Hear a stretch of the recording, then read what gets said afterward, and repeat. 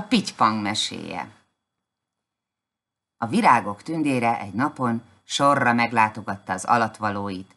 Megkérdezte tőlük, nincs-e panaszuk, kérésük, kapnak-e hűvös reggeli harmatot, kedvesen játszadozik-e velük az esti szél, fölkeresik-e őket a pillangók. A kényes kerti virágok sorra elmondták panaszaikat.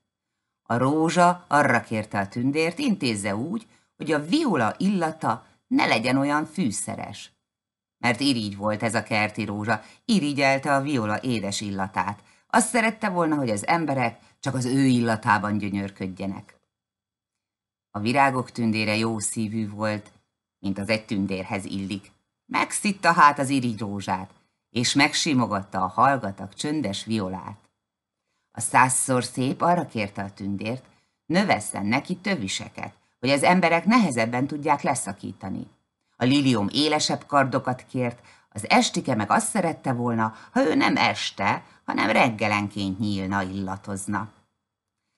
A tündér zokon vette a virágokhoz csöppet sem illő sok kérés meg panaszt. Rossz kedvűen ment el a kertből. Elhatározta, hogy egyhamar nem látogatja meg ismét az elkényeztetett virágokat, s lehorgasztott fejjel ballagott hazafelé az erdőbe. Így történt, hogy meglátta az útszélén a porban virító pitypangot. Megállt előtte. Mond, kedves pitypang, nincs valami kérésed, panaszod? A pitypang csak ingatta sárga fejét, hogy nem, nincs semmi kérése, sem panasza. Nem kívánsz magadnak jó illatot, esetleg tüskéket, hogy ne tudjanak leszakítani a gyerekek? Nem, a pitypang nem kívánt semmit, de mikor a tündér tovább ment, fölsóhajtott. Meghallotta a tündér a pitypang sóhaját, visszafordult. Talán mégis szeretnél kérni valamit, pitypang? Hiába minden tündér. Az én bánatomon te sem tudsz segíteni, mondta a pitypang. Messze földről kerültem ide ebbe az országba. Meggyökereztem itt. Tudom, hogy soha többé nem láthatom a hazámat, s ha eszembe jut a régi táj, mindig nagyon szomorú vagyok. Csak legalább a gyerekeim elmehetnének. De hát azoknak sincs szárnyuk.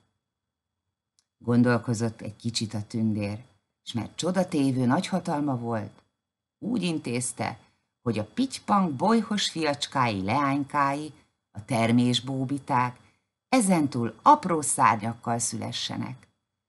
A bóbiták apró szárnyába belekap a szél, röpíti őket hegyen völgyön át, messzi földre elkerülnek, s ha jó a szél, pitypang egyik-másik fia lánya visszaröpülhet a rég elhagyott hazába is.